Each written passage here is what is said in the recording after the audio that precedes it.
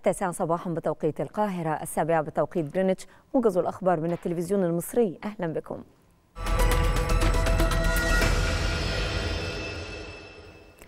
أدى الرئيس عبد الفتاح السيسي اليمين الدستورية رئيسا للجمهورية لفترة رئاسية جديدة بمقر مجلس النواب بالعاصمة الإدارية الجديدة.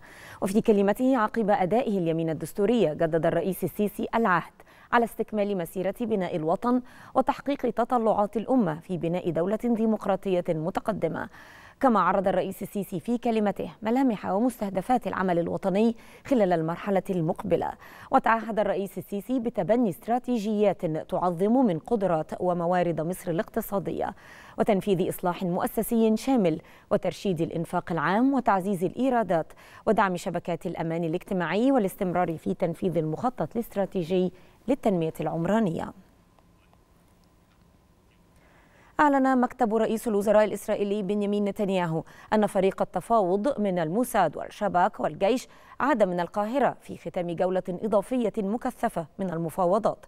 وأوضح مكتب نتنياهو أنه تمت صياغة مقترح جديد لهدنة في غزة وإطلاق سراح المحتجزين في محادثات بالقاهرة وتم تقديمها إلى حماس عبر الوسطاء.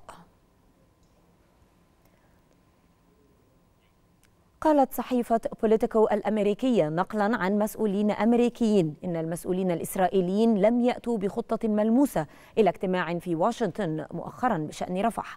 وأوضح المسؤولون الأمريكيون أن الجداول الزمنية التي قدمها الإسرائيليون لإجلاء المدنيين من رفح لم تكن واقعية.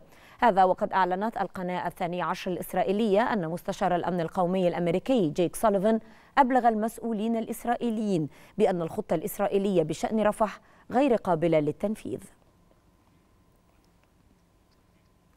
أعادت السلطة الفلسطينية تقديم طلب نيل العضوية الكاملة في الأمم المتحدة وأرسل السفير الفلسطيني في الأمم المتحدة رياض منصور رسالة إلى الأمين العام للأمم المتحدة أنطونيو غوتيريش يطلب فيها رسميا النظر مجددا بطلب قدمته السلطة الفلسطينية قبل أكثر من عقد لمنح دولة فلسطين عضوية كاملة في المنظمة الدولية. تظاهر آلاف الإسرائيليين أمام الكنيسة الإسرائيلي بينهم عدد من أهالي المحتجزين في قطاع غزة. وطالب المتظاهرون باستقالة رئيس الوزراء بنيامين نتنياهو متهمين إياه بالفشل في تحقيق أهداف الحرب والإفراج عن المحتجزين. اجتمع مجلس الأمن الدولي لبحث الغارة الإسرائيلية التي استهدفت القنصلية الإيرانية في دمشق. وخلال الاجتماع دعا مندوب روسيا الدائم لدى المجلس فاسيلي نيبنزيا المجتمع الدولي إلى إدانة الإجراءات الإسرائيلية التي تنتهك سيادة سوريا وحصانة المنشآت الدبلوماسية. وبحسب وسائل إعلام إيرانية فقد تم تدمير مبنى القنصلية بالكامل نتيجة, نتيجة لهجوم صاروخي. كما أسفر الهجوم عن مقتل 13 شخصا بينهم سبعة مستشارين عسكريين إيرانيين وستة مواطنين سوريين. أبلغ الرئيس الأمريكي جو بايدن نظيره الصيني تشي جين بينغ أن الولايات المتحدة تريد تغيير لملكية منصة تيك توك. في وقت يناقش فيه الكونغرس حظر التطبيق الرائج ما لم ينفصل عن مالكيه الصينيين. وقال المتحدث باسم مجلس الأمن القومي الأمريكي جون كيربي إن بايدن بحث هذه المخاوف خلال اتصال هاتفي مع نظيره الصيني والذي أكد أن المسألة تتعلق بحماية مصالح الأمن القومي وأمن بيانات الشعب الأمريكي. وعبر مسؤولون غربيون عن قلق إزاء شعبية تيك توك لدى فئة الشباب.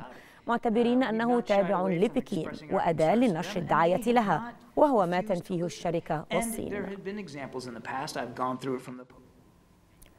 ضرب زلزال بلغت قوته 7.5 من عشرة درجات على مقياس ريختر أجزاء من تايوان واليابان والفلبين وتحذيرات من تسونامي. وذكرت وسائل إعلام محلية في تايوان أن بعض الأشخاص محاصرون فيما أفادت إدارة الإطفاء بمقتل أربعة أشخاص وإصابة أكثر من خمسين آخرين بينما أمرت الفلبين بإخلاء المناطق الساحلية خوفا من حدوث تسونامي.